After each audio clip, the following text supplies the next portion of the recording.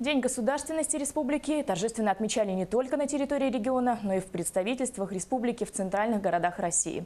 Как прошло празднование в Москве, расскажем в нашем следующем сюжете.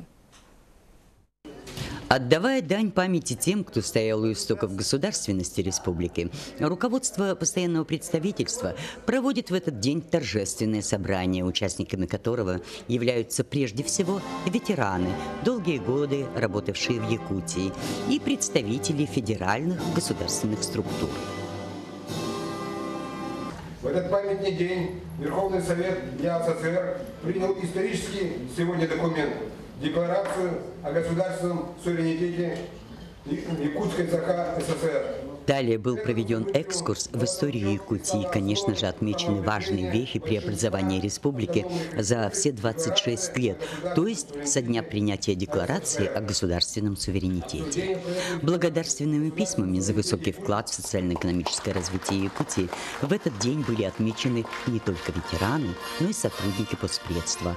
А среди многочисленных поздравлений отрадно было услышать голос правительства Москвы, с которым республика тесно сотрудничает в различных направлениях. Уважаемые друзья, от имени правительства Москвы и от себя лично сердечно поздравляю вас с Днем Государственности Республики Саха-Якутия.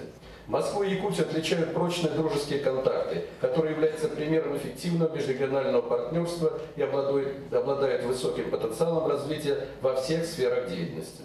Уверен, что наше сотрудничество и впредь будет способствовать дальнейшему упрочению московско-якутских отношений во благо жителей столицы и республики. Желаю вам, а также всем жителям Якутии счастья, здоровья, благополучия, на прекрасной якутской земле процветания.